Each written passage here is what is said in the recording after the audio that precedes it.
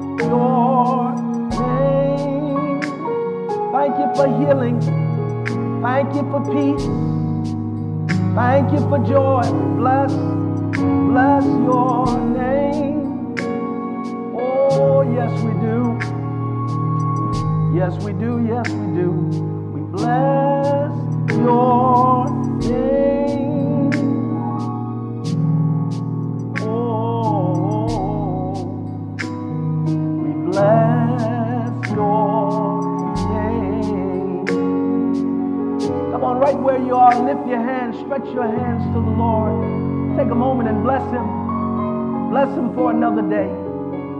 Bless Him for taking you down through this day, bringing you to this space, this place that we've hallowed and sanctified, calling it the Midweek Connect, where we can gather together and uh, remotely as you all are doing. And I can share the word of the Lord with you as that we do have a word from God. We do have a word from God. On Sunday, we ministered from uh, the thought, 2 Kings chapter 13, arrow to arrow, how that prophetically we declared that the Lord is setting us up. He is setting you up. He is setting somebody up for an ultimate victory, an ultimate victory. And even as Joash the king, who had gone to Elisha, the man of God, the protege of Elijah, who had fallen sick of his sickness, the Bible says, Joash went to him pleading and pouring out his heart. The man of God gave instructions to Joash.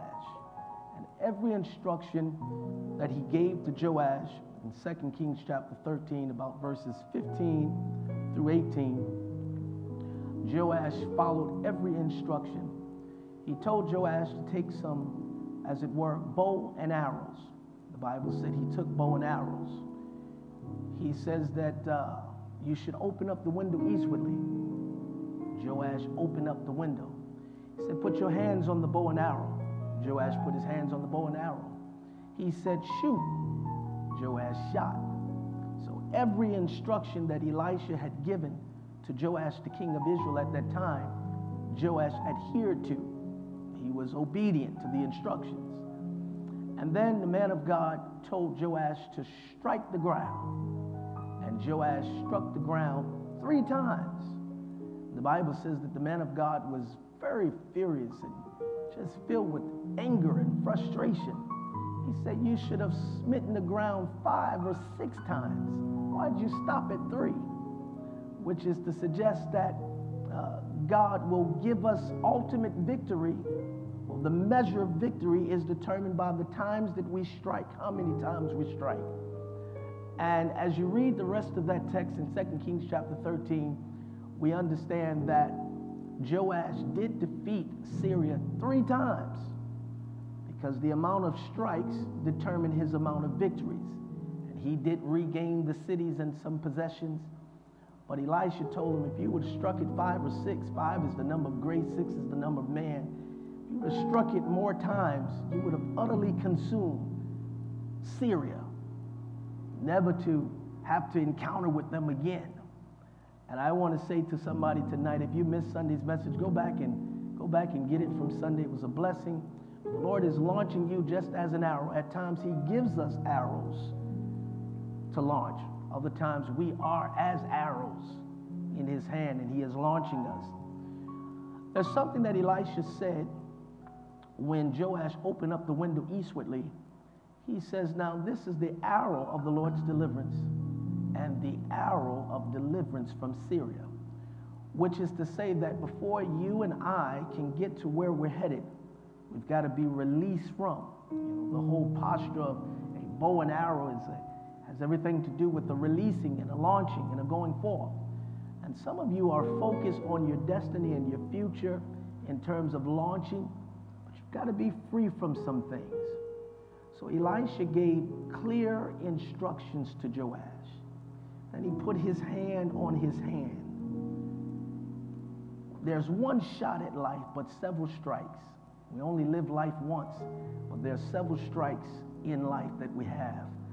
And even as the sport, one sport says uh, you're disqualified. Three strikes, you're out, baseball. But there's another sport that says you're qualified, the highest score, that of strikes in bowling. And I'll say to you that your life, my life, has been as what we've given ourselves to in the strike mode. The strike mode. Don't stop striking. Keep on striking. Because God is taking us as an arrow to arrows from one level to the next level. The part that I want to chime in on tonight is that Elisha gave Joash clear instructions. Clear instructions.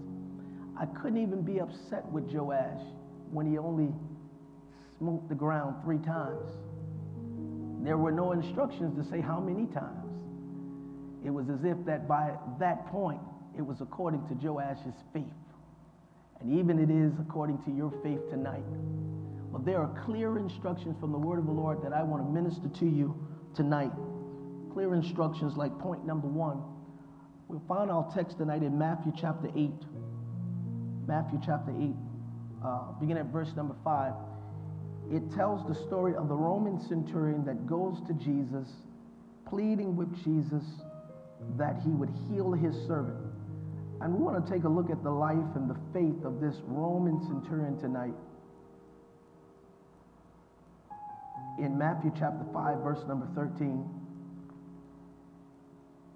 or actually Matthew chapter 8, excuse me, Matthew chapter 8, verse number 13. What did I give y'all? All right, there you go. Good stuff. Thank you, Bree. Matthew chapter 8, verses 5 through 13. Let's read it for reading's sake. And when Jesus was entered into Capernaum, there came unto him a centurion beseeching him and saying, Lord, my servant lieth home sick of the palsy, grievously tormented. And Jesus saith unto him, I will come and heal him. The centurion answered and said, Lord, I am not worthy that thou shouldest come under my roof, but speak the word only, and my servant shall be healed. For I am a man under authority, having soldiers under me. And I say to this man, Go, and he goeth, and to another, Come, and he cometh, and to my servant, Do this, and he doeth it. When Jesus heard it, he marveled and said to them that followed, Verily I say unto you, I have not found so great faith, no, not in Israel. And I say unto you that many shall come from the east and the west and shall sit down with Abraham and Isaac and Jacob in the kingdom of heaven. The children of the kingdom shall be cast out into outer darkness. There shall be weeping and gnashing of teeth. And Jesus said unto the centurion, Go thy way, as thou hast believed, so be it done unto thee. And his servant was healed in the self same hour. Father, in Jesus' name, thank you tonight for the reading of your word. Let your word minister to our hearts tonight that we might receive it and live by it. In Jesus' name, amen. Thank God. Tonight, I want to use for a thought line up with the Word of God. Line up with the Word of God. Again, if I had to piggyback from Sunday's message, Joash, he came into agreement, into alignment with the man of God's instruction. And he did everything. When you read those verses, 2 Kings 13, 15 through 18, everything that Elisha said, Joash did. even down to smiting the ground, without having at that point specific uh, amounts as to how many times he should strike. Because at that point, it was all up to him. And I want to say to you, even like this Roman centurion that went to Jesus, pleading that Jesus would come and heal his servant. And Jesus says, Okay, I'm on my way. And uh, the Roman centurion said to Jesus, No, you don't, you don't have to leave from where you are. I'm not worthy that you should come under my roof. You can just speak the word only. You just speak the word only, and my servant shall be healed. And the Roman centurion, when he said this, caused Jesus to marvel and speak to those that were around him and say, I have not found this type of faith in Israel amongst those that should have exemplified this type of faith. In other words, I have not found where uh, anyone has, has pleaded of me to do anything for them by me speaking a word only. The Roman centurion says, I have servants. I'm a man of authority. I'm a man under authority. I have servants that when I tell them to go, they go. If I tell them to come, they come. And because I am a man of authority, I understand authority. And I understand you, Lord, to be a man of authority. You don't have to lift the finger, you don't have to move your hand. Just speak the word. Just speak the word. There were clear instructions given to Joash, and he did what Elisha said do.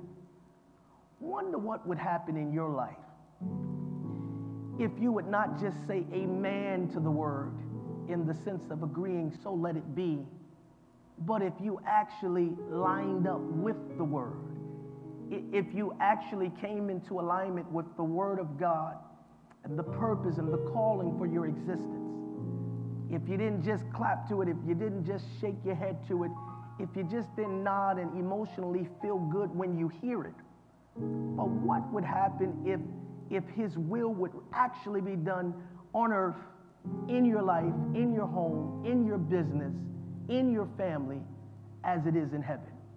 What difference would your life bear? What, what change would come about in your life and your environment if you were in complete alignment with the Word of God? The Word of God. The fact that, again, the term or the title is given to this Roman soldier as a centurion. Uh, the prefix cent actually means 100, that he was over at least a band of 100 men. You know, we say in uh, the world that we live that it takes one to know one. He was a man of authority, so he recognized authority. And he says, Speak the word only, and my servant shall be healed.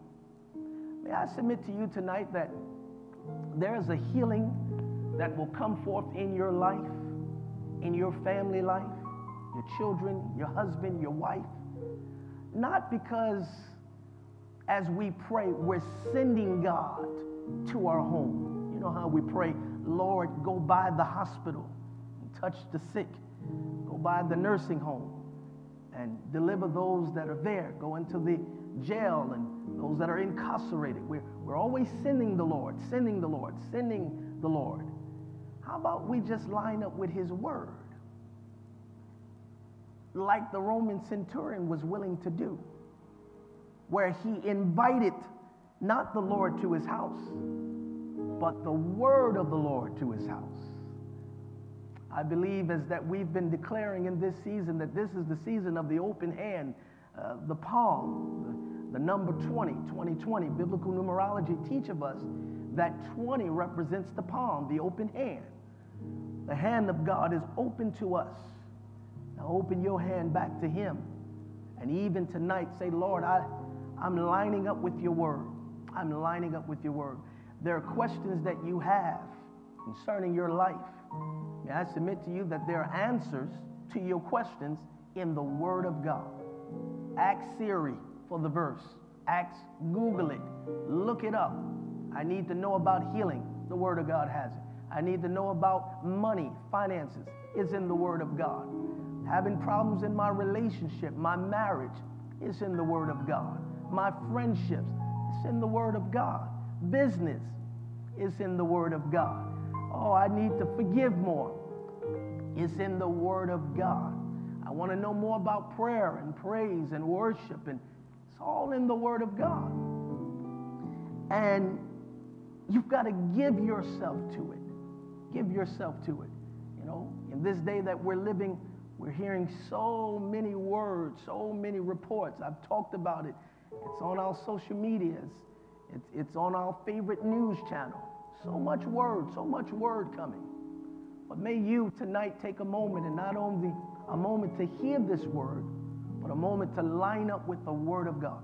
A moment to line up with the Word of God. The Bible says at the end of this, uh, our reading tonight, verses 5 through 13, that Jesus said to the Roman centurion, Go your way, because according to your faith, according to how you have believed, it shall be done for you. I'm going to tell you something. When you line up with the Word of God, you begin to look strange to others who are not lining up with the Word of God. Your vocabulary will begin to change. Your, your words, your language, your verbiage, your lingo will begin to change. Because you can't line up with the Word of God and not spew, not speak, not declare the Word of God. And you'll start to make declarations and you'll begin to speak uh, what seems to be Greek or foreign to others, a language that others don't understand. So understand that when you line up with the Word of God, the commonality that you might seek for in a friend or seek for even in a household member may not be there all up at front or at once initially. It takes time because the Word of God has you sometimes speaking things into existence before they actually appear. Yeah, Abraham knows about that in Romans chapter 4, calling those things that are not as though they are. You line up with the Word of God you begin to speak in the midst of a confused situation with words of peace. And it can change that situation. You'll speak in the midst of sickness, words of healing. I mean, we're doing our very, very best during this time of pandemic to keep our social distance, to wear our masks, to keep our hands clean, to do all those things that we're told in a word, in instruction to do. But may we not forget as Christians, as believers, that we line up with the Word of God and that we have a word that we can speak to this disease and this pandemic. We have a word that we can speak to anxiety and fear and all those other ills that try at times to overtake us. Yeah, we have a word that we can speak. Don't just be hearers, James says in James chapter 1, of the word when your pastor, your preacher, your teacher, virtually by way of stream, as even tonight we're doing, don't just hear it and shake your head and say amen and send all your nice emojis as you're doing, and you should, but line up with it. Come into agreement with it. Yeah, the word, it works. You have to submit to it and let it work in your life. Let it work in your life. That's what the Roman centurion did. Yeah, he was moving in faith and said, Lord, you don't have to come to my house. Just speak the word. Just speak the word. I challenge you tonight to speak the word of God over your house, over your children, over your marriage, over your stuff, over your business. And if you don't know what that word is to speak, research it. Look it up. That's what Paul told Timothy in 2 Timothy 2:15. Study to show yourself approved unto God, a workman that needeth not be ashamed, but rightly dividing the word of truth. No, you don't want to be ashamed not knowing how to approach or to deal with this situation. That's why you got to give yourself to study. The Bible says over in John 5:39, search the scriptures, for in them ye think ye have eternal life. And with technology today, no excuse to say, I don't know where to start. I don't know where to begin. I was talking with somebody today, and I, uh, we were talking about uh, the text that I preached from on Sunday, and uh, they were saying, "Yep, I just finished reading from that text. I'm very familiar." And I asked the person, I says, "How many times have you read the Bible?" And they say, "Oh my God, about eight, nine times over." And that was so impressive. Whether there are some believers, some Christians have never read the Bible in its entirety. but we've read other novels, secular novels. We read the newspaper. We read uh, other books, not saying that we shouldn't. But as a Christian, as a son and a daughter of God, as a believer, how can you line up with something that you've never read? How can you line up with something that you only hear preached to you or taught to you on Wednesday and or Sunday or whenever your preacher preaches to you? No, that's not enough.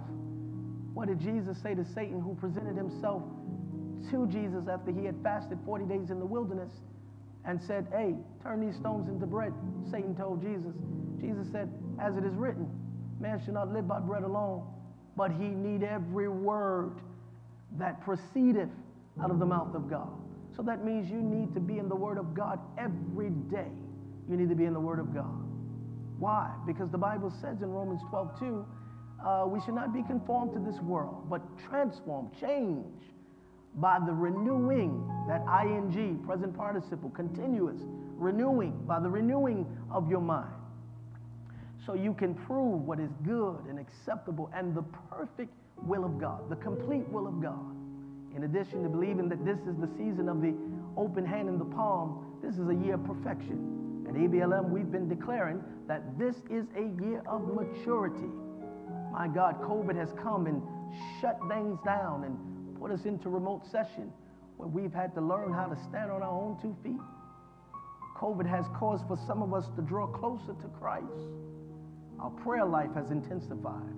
Our hunger and our thirst the Word of God and hearing the Word of God has intensified. And we say, To God be the glory. But even in the midst of a world that's confused, in the midst of a world and states that are spiking again, and people are filled with fear, I am telling you by grace of the Holy Spirit tonight to line up with the Word of God. Because whatever's getting ready to happen in your life, as an arrow to an arrow, from one place to the next place, from one level to the next level, is going to happen according to your faith. The Spirit of the Lord came upon me Sunday, and prophetically, I began to aim at different ones that were in the room and speak the Word of God over them. And there were those that came back and said, Pastor, thank you for the Word. And I want to say to you that the Word of God is not just for the moment, but the Word of God will accomplish. It will accomplish. But it's only going to accomplish for you as you believe that it will. So we follow the example of this Roman centurion and we are lining up with the word. And the Bible says that the servant was healed in the self same hour. My God. I wonder what would happen if you would line up with the word of God and begin to speak his word rather than your fear Speak His word rather than your stress. Speak His word rather than your doubt. Speak His word rather than what your natural eyes see. Speak His word. What would happen in the self same hour? What time is it? 7:29 I have. What would happen in the self same hour if you would line up with the word and not only say amen to it, but actually line up and walk it out, act it out, move in it, speak it, speak it. Here's some benefits to the word of the Lord. Here's what happened. You find out that according to 2 Timothy chapter 3 verse 16 that the scriptures are inspired by God. It says that all scriptures are given by the inspiration of God, profitable for reproof, for correction, uh, for rebuke, for instruction. Verse 17 says that the man of God may be uh, perfect and thoroughly furnished so we have the scriptures that are good for doctrine, they're profitable for doctrine.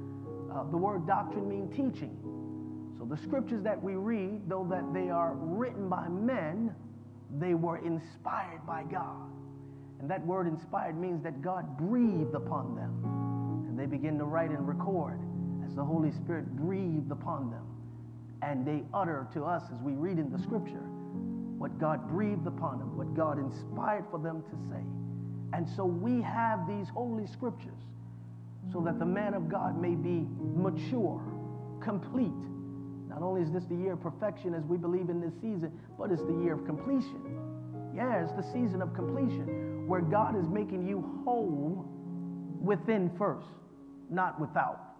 Because things without are failing, things without are shaky, things without are shady, and, and things without are just fickle. But God is making you whole within. It's the year of perfection, it's the year of completion. And guess what? It's the year of redemption. Something is coming back to your hand where the enemy tried to come in like a thief that he is and steal, kill, and destroy. God is going to redeem some things back to your hand. Yes, this is the season of perfection, the season of completion, and the season of redemption. And the scriptures, the word of God, is inspired. Inspired. The scriptures are inspired by God. How about this one? According to 1 Peter, uh, the word of God is an incorruptible seed. It's an incorruptible seed. It, it, it, it, it's not tainted, it's unadulterated, it's pure. Though a natural man wrote it, he's inspired by God. And so, therefore, it's not to be compromised. There is nothing that we take away or add to it. It's of an incorruptible seed. No perversion, no tainting, pure, holy, and even completely delivered to us so that we can have the whole truth. The Word of God is an incorruptible seed. And what happens when that seed, like tonight, when it is planted into your spiritual womb as you receive it, then you begin to bring forth of that seed. But you got to get the Word of God in your heart. You got to let the Word of God get in your spirit. You got to let the Word of God get in your soul. So you begin to speak what's on the inside of you. In fact, the Bible says in Matthew 12, out of the abundance of the mouth, or out of the abundance of the heart, the mouth speaketh. So, what will happen if you allow the Word of God to become the seed in your heart? Then you begin to regurgitate and you begin to speak what God says. You begin to look at your marriage and look at your life and look at your children and look at your money, look at life the way God sees it for you when you get the seed of His Word on the inside of you. Not only that, I'm just exhorting you tonight and running through letter C, the Word of God is eternal. The Word of God is eternal. He says over in Matthew 24, uh, heaven and earth shall pass away, but my word, my word shall remain forever. Isaiah says the word of the Lord shall stand forever. So this heaven as we know it and this earth as we know it is going to fade, it's going to dissolve, it's going to pass away, but not his word. Yeah, his word, his word will remain forever. These are benefits when you line yourself up with the word of God. The word of God is eternal. The word of God is an incorruptible seed. The word of God is inspired by God himself. It is his love letter to us that we can read, that we can meditate in, that we can saturate ourselves with and become full of it. The word of God will never return void. The prophet Isaiah says in 55 and 11, he says, As the rain falleth, as the rain falleth and not return up, falleth to the earth, and it waters, and it, and it waters the earth, and it, it does what it's supposed to do as it falls to the earth, but it doesn't go back up to heaven without accomplishing on earth what it's supposed to do. He says, So shall my word be that goeth forth out of my mouth. It will not return unto me void. It will not come back to me empty, but it will accomplish what I set it to accomplish. It will prosper in the place that I have sent it to prosper. It's the Word of God. So when you line it with the Word of God and you begin to speak the Word of God over your situation, over your life, even over the doctor's report, yeah, as the scripture says, whose report shall we believe? We shall believe the report of the Lord. We know we've received news uh, concerning uh, our health, and we've received news concerning our, our economical status. We've received news concerning our family status. Well, I want to tell you that there's better news that trumps that news, and that news is in the Word of God. I talked about it, I believe it was on last week, that some of us are going through a proving moment where even Jesus had to prove to his disciples in John chapter 6 relative to the miracles of the two fish and the five loaves. He knew when he asked them that they would think there was not enough. but it was a proving moment. And even some of you are going through a proving moment. But I challenge you by the grace of God tonight that you would line up with the Word of God. Line up with His Word. Because His Word will not return empty, but His Word will prosper. His Word will accomplish. See, you keep trying to put your hand on it, you keep trying to put your thought to it. Keep trying to get there and be the Savior all the time and bail this one out and bail that one out. You have sleepless nights because you're worried about this and you're worried about that. I pull you out of worry tonight. And I challenge you to line up with the Word of God. Here's a scripture for your worry. The Bible says over in Philippians 4 6, be careful for nothing, but in everything by prayer and supplication with thanksgiving. A lot of times we ask God for something. Lord, we ask on Monday, um, heal me. We ask again on Tuesday, heal me, Lord. Wednesday, we're back again, heal me, Lord. When are you going to thank God for healing? Don't be anxious for nothing. Don't be stressed over anything. Don't let fear grip your heart over much of anything. With prayer and supplication, with thanksgiving. So after you ask God for it, thank Him for it. The Bible says, the peace of God that passeth all understanding shall keep your heart and your mind through Christ Jesus. Then it says, finally, brother, whatsoever things are true, honest, just, pure, good, lovely, if there be any virtue, if there be any praise, think on these things. Over in 26, 3 of Isaiah, thou will keep him in perfect peace whose mind is stayed on him. How can I smile in times like these? I got the peace of God in my heart. I've got the peace of God in my life. I'm no better than you. You're no better than me. But I'm lining myself. I'm doing everything I can to line up with the Word of God. And so when I feel uh, those feelings and anxieties and attacks coming upon me, what do I do? I speak the Word of God that no weapon formed against me can prosper.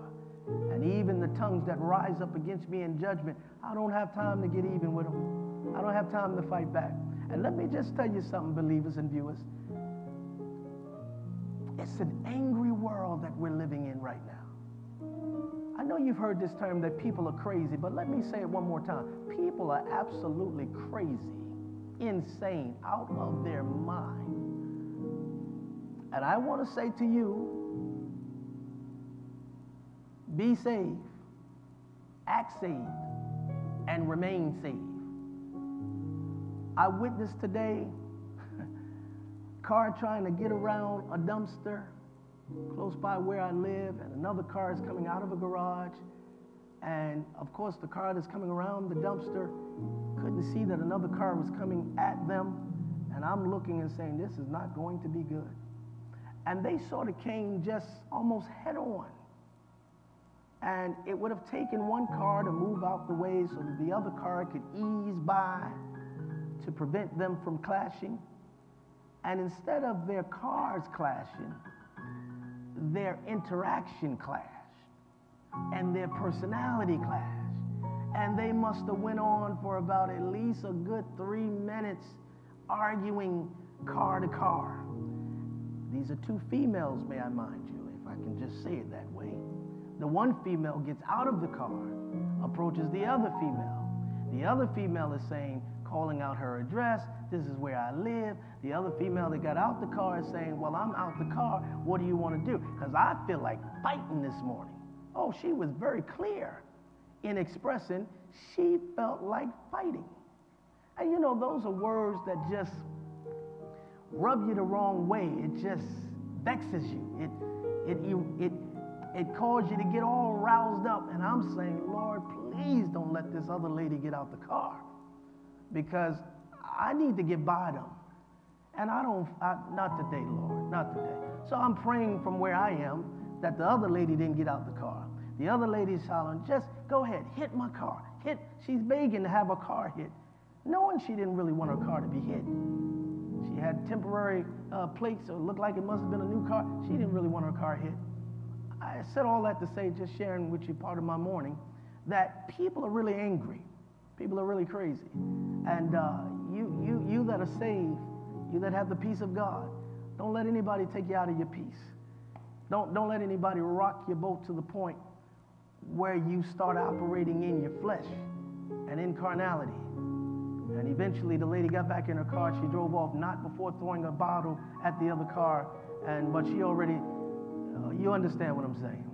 You understand what I'm saying? Line up with the Word of God. When you line up with the Word of God, you may come across some crazy people. But there's a peace of God that reminds you of who you are and that, and that you cannot allow for yourself to stoop to unhealthy levels, to give yourself to unnecessary arguments.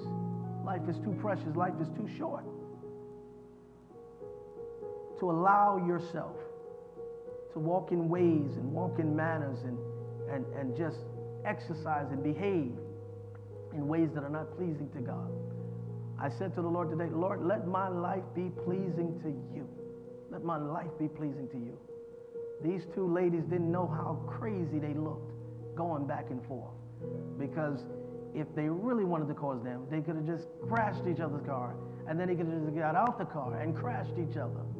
But I just paint that picture for you to remind you that, that don't have road rage. Don't get all indignant and all upset. You never know who's in the other car. I know you got crazy in you, and ain't nobody gonna bully you. But listen to the word of the of your pastor tonight, the words of the prophet tonight. Be saved, act saved, remain saved. Let me get back on track. Line up with the word of God. Line up with the word of God. Letter E, the word of God illuminates. It illuminates. What did the psalmist says that the word, uh, thy word is a lamp unto my feet and a light unto my path. As the children of Israel, they would travel at times, they would travel through, as it were, uh, dark regions. And, and, and, and sometimes the terrains would, would, would be a bit off. But he says, Thy word, thy word is a lamp unto my feet. I don't want my feet to go left. I don't want my feet to sway right. I want my feet to walk in a narrow path. I don't want to walk in the broad way where everybody seems to be flocking, the convenient path. Want to walk in the narrow path. And I want your word to be as lights to my path so that I can see which way to take. I can see which route to take. So the word of God illuminates. Yeah, even in, in dark places, in dark places, it illuminates, it brightens up where, where, where it is dim in your life. Get in the Word of God and see how that your situation will begin to brighten up. God will give you understanding. He will give you wisdom. He will tell you when to speak, when not to speak. Illumination, revelation, understanding, and even your countenance will brighten up. He gives you that peace. He gives you that peace. Letter F, how about the threefold dynamic? The threefold dynamic of the Word of God. In Ephesians, or rather Hebrews 4.12, says that the Word of God is quick, powerful, and sharper than any two-edged sword. It's quick, it's powerful, and it's sharp. Than any two-edged sword. It pierces between the dividing asunder of your soul and spirit. Some of you don't differentiate between the soul and the spirit but as human beings made in the image of God, we, we, are, we, are, we are spirit, we are soul, and we have a body. We live in a body. And the Word of God gets in between your soul and your spirit. It gets in between your joints and your marrow. It's a discerner of your thoughts, and it knows the intents of your heart. I, I can't tell you how many times uh, in preaching and ministering the Word of God that there are those that feel like sometimes I'm aiming right at them. I'm speaking right to them. Because sometimes the Word of God will come forth and just penetrate and directly speak to an issue that someone is going through, an issue that someone has had. That's the Word of God. It's quick, it's powerful, and it's sharper than any two edged sword. It, it has a way of getting in between the places where nobody else can get to. The psalmist says, Search my heart, O God Try me. If there's any wicked way in me, that's what the Word of God does. It tries you. Sometimes the Word of God is coming forth and it, it encourages you, it uplifts you, it exhorts you. At other times it comes forth and it cuts you. It shows you the error of your way. It shows you where you're wrong. It shows you where you're not right, where you're not thinking right, where you're not behaving right. It shows you when you're not lining up properly, where your relationships are not in order. Your business is out of order. The word of God, according again, 2 Timothy 3.16, is not just profitable just to make you feel good. it corrects you, it rebukes you, it chastens you. It's quick, it's powerful, it's sharper than any two-edged sword. Not only that, but we understand according to John 6:63 that words are spirit. Words are spirit. The little rhyme that we learned as children that we used to quote couldn't be further from the truth. Was it sticks and bones? Uh, sticks and stones. There it is. Thank you. May break my bones. Uh, but words can never hurt. That's not true. Words are spirit. In fact, I'd go far to say that there are some of us hurting today because of words that we heard as children slanders and uh, sometimes derogatives and being spoken down to and being called out of our name and being humiliated. Words, words of spirit. Jesus says that the words that I speak, they are spirit and they are life. The flesh profiteth nothing, but the words that I speak, they are spirit and life. So you've got to be very, very careful the words that come out of your mouth. Because though you can't see them, you cannot retract them, you cannot take them back, but they go forth to accomplish. And we need the word of God to be in our mouth. David says in Psalm 34, I will bless the Lord at all times. I'm practicing to keep his word in my mouth. I'm practicing every day to not just speak positively. I don't want to just be a positive person. I want to be a godly person. And I want to speak what God is saying out of his word. Mark 11, 23 and Proverbs 18, 21 talks about the power of confession. Some of you have positive thoughts that you regurgitate. They're on your refrigerator, they're on your mirror in the bathroom. I challenge you to get the Word of God and post it in your house. That's what Moses was instructed to tell the children of Israel in Deuteronomy chapter 6. Make sure that they pass this on to their son and their son's son and their son's son's son. And let it be like frontlet between their eyes. Let it, let it, let it be on their doorposts. Let the ordinances and the statutes and the commandments of God, let them be posted because there's power in confession. Mark 11, 23 says, uh, at, the, at the latter end, you shall have whatsoever you say. The disciples were so astonished how that they uh, came close to a tree one day and Jesus was hungry and looked at the fig tree and, and it looked like it should have had figs and it didn't have figs. The closer he got to it and could not draw from it and he cursed the tree. They went back another day and saw that the tree was cursed, and they were just so amazed. And Jesus says, if you have faith and no doubt in your heart, you can speak to the mountain and tell it to be removed. And you shall have whatsoever you say. That's why some of us, we don't have the things that, that we desire because we won't say what it is we desire. We say everything opposite. We say everything that the news say. We say everything that social media say. We say everything that gossipers are saying. We're saying everything that the naysayers are saying. You've got to change your language. Got to change your verbiage because there is power in confession. It's the power of confession. Uh, 1821 of Proverbs, uh, death in life, it's not in the hand of the doctor. It's in the power of your tongue and he that eateth the fruit thereof shall have. So, so there, there is power, there are dynamics that happen when you speak, when you go forth, when you confess. There's the power of confession. Every day you ought to confess, I am healed.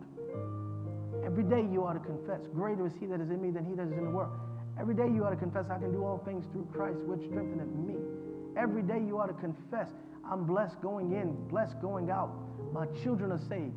You ought to get prayers of confession and, and scriptures that will confirm what you're saying and say that only. That's what the Roman centurion said. Just speak the word. You don't have to come where I am. I'll line up with what you say. In fact, I can't leave until you say go. Now that you've told me to go, go my way. My faith, according to my belief, has brought it to pass.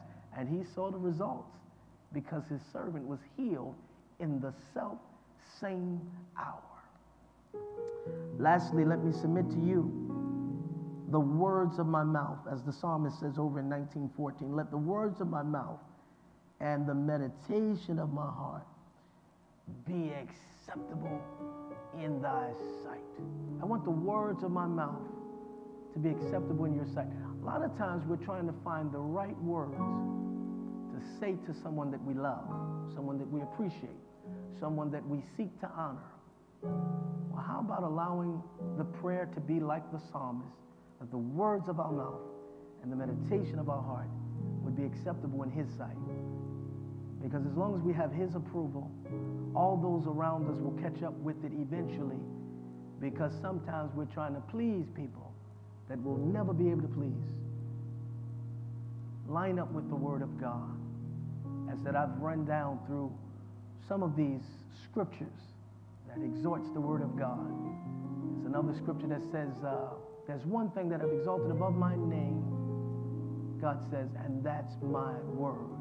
I want to say to you tonight, believer, line up with the Word of God. Line up with it as it relates to your home, as it relates to your money, as it relates to your health, as it relates to your relationships. Line up with the Word of God and speak the Word only. Stop speaking negatively. Spot, stop speaking and thinking demonic thoughts. Line up with the Word of God. We've done everything we could to adhere to CDC. What about the B I B L E? What about the Bible? The basic instructions before leaving earth. We've become so in tune and so engrossed with social media, with reading and news. But what about the Word of God? Line up with the Word of God. Arrow to arrow, God is taking you from one glory to the next. But you got to line up with that Word. Nothing happens until you believe. Nothing happens until you believe. And in Romans chapter 10, we find out that faith cometh by hearing, and hearing by the word of God. Let's pray. Father, in Jesus' name, thank you tonight for your word. Thank you for the exhortation and the discussion, and through your word, the scriptures that we've uh, communicated tonight to support this thought, and even the principal text. Let us take a lesson from the Roman centurion and not send you anywhere, but say that you are God and we honor you for being who you are. We trust you for being who you are. You can stay right where you are, Lord.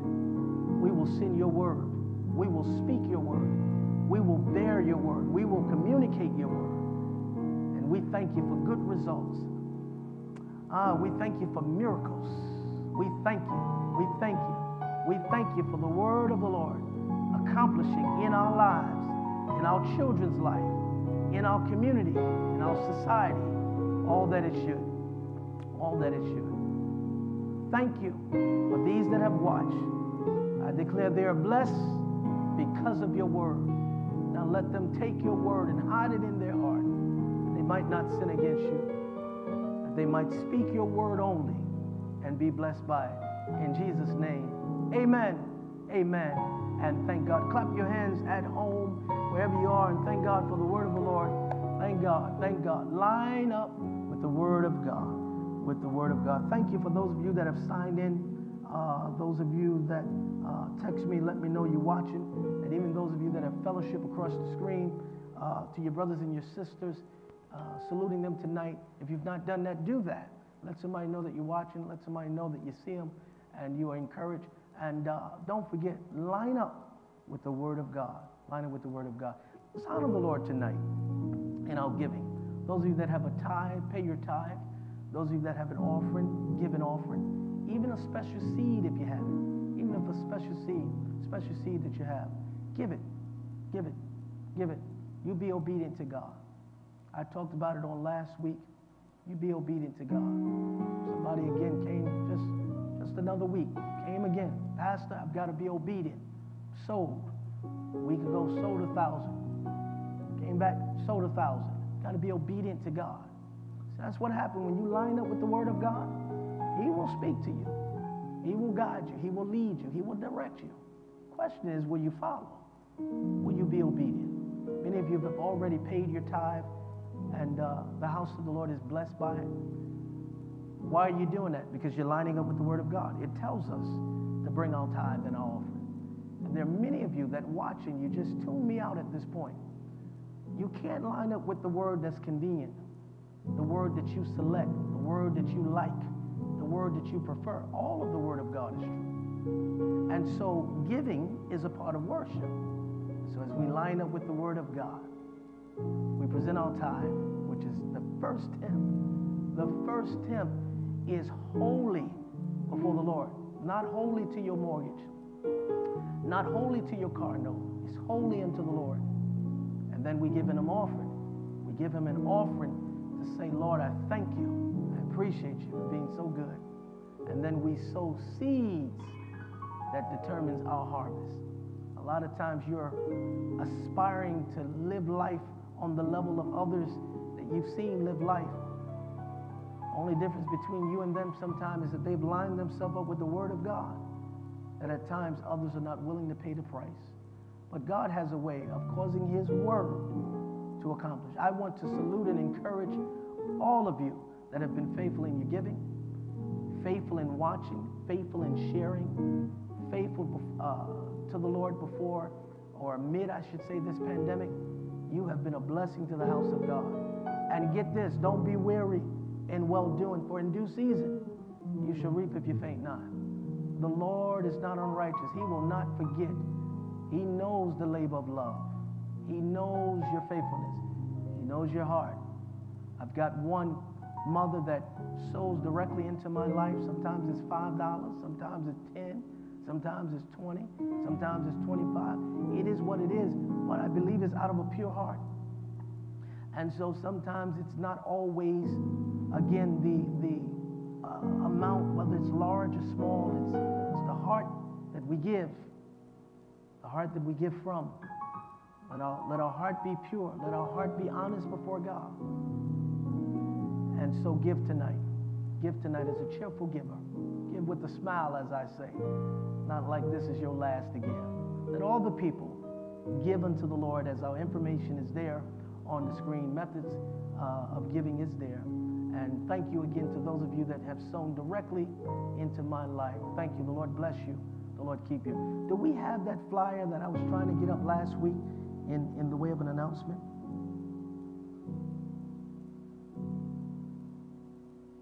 We do? Let's see if we can pull it up.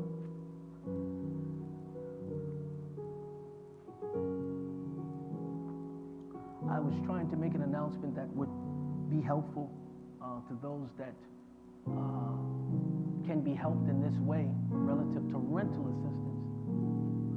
On last week, I made mention to it as one of our team members from the Better Life Culture Connection, our resource team here at the church, had forwarded to me, and I wanted to just make sure for our members and for our viewers and friends of the ministry that at least you can see it, that you would know, good, relative, it's up. Thank you so very much. Relative to the assistance that uh, uh, is lent to those that need it, that can use it, uh, that flyer is there. I, I hope that you can glean from its information and take advantage. I believe there's a deadline of July 17th, which uh, is Friday. So if you're going to move, move swiftly and see if that can bless you and help you and even others if you're able to share and pass on the information. All right? Until Sunday, we believe here at A Better Life Ministry that the key to life is a better life. Go in God's peace. Until Sunday morning, 10 a.m. Those of you that are coming to church, pre-register. Do it right now tonight. There's a cutoff by tomorrow night, 6 p.m. tomorrow evening. So register if you're coming, and we hope to see you real soon in Jesus' name. God bless you.